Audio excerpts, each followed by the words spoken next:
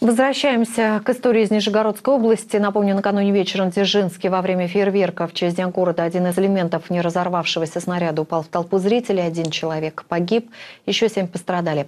Сейчас на прямой связи со студией наш корреспондент Алена Рогозина. Алена, здравствуйте. Что известно о состоянии госпитализированных и есть ли какие-то предварительные выводы следствия по произошедшему?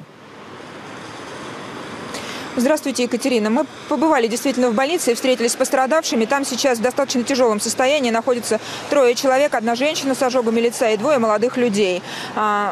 Их э, в ближайшее время должны отправить в Нижний Новгород, в центр, в ожоговый центр Нижегородского, э, Нижегородского НИИ, который занимается хирургией и подобными травмами.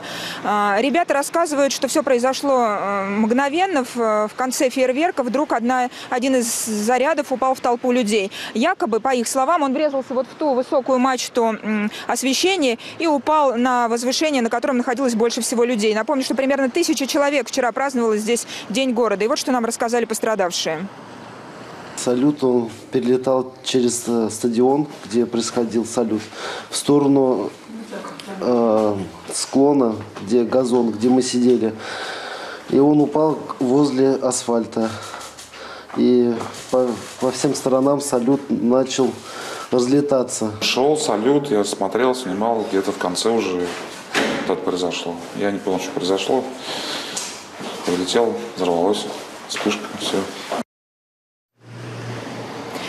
Касается версий, изначально их было две. Э, следователи предполагали, что кто-то из зрителей пронес к месту праздника запрещенные петарды, но, как нам рассказали в администрации, э, все зрители проходили специальный досмотр, и это исключено. Но и сами следователи теперь склоняются в пользу второй версии. Это действительно ненадлежащее обращение с э, фейерверками и салютами в конторе. Мастер-групп, которая проводила этот самый, это пиротехническое шоу, сейчас проводится изъятие документов, опрашиваются сотрудники. Но по первоначальным официальным данным, э, эта группа, мастер-группа, два года оказывает подобные услуги, в основном на территории Нижегородской области. Следователи рассказали нам, что они изъяли все заряды там и проводят сейчас техническую экспертизу. Предлагаю послушать.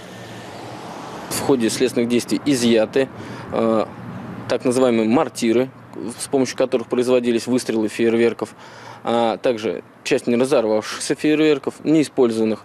Э, назначена взрывотехническая экспертиза, в ходе которой будет установлено, соответствует ли качество указанных фейерверков, а также э, устройств, с помощью которых производились выстрелы фейерверков, э, требованиям безопасности для окружающих.